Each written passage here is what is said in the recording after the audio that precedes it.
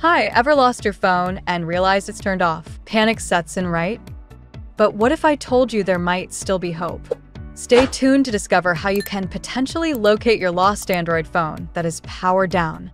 When your phone is on, locating it is straightforward with built-in services like Google's Find My Device and Samsung Find My Mobile, provided you have logged into your account and enabled these features in advance. But once it's off, things get tricky.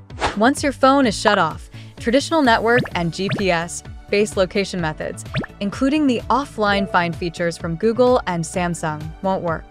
Right now, we can only locate devices with an independently powered Bluetooth Low Energy BLE chip. Currently, this type of chip is available in the Google Pixel 8 9 series and OnePlus 13 series. In the future, it's expected that more Android brands will adopt this technology. So, if your missing device is one of these models, you're lucky.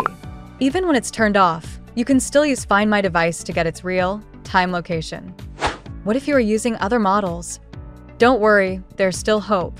The built-in features can show the last known location before it was off. If it hasn't been long since the loss, go to there to have a look quickly.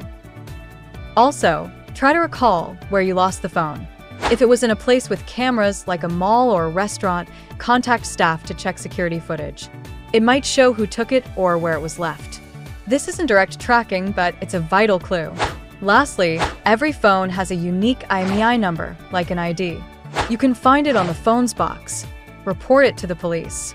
They might track it when it reconnects to the network, depending on their policies. In summary, while finding a powered off phone is challenging, acting quickly and using these tips can make a difference. For future peace of mind, consider installing AirDroid parental control to track your child's phone in real time. It will alert you if your child's phone battery is low. It also helps you see and hear your child's surroundings. Found this video helpful? Give it a thumbs up and share it with friends. Subscribe for more tips and see you in the next video.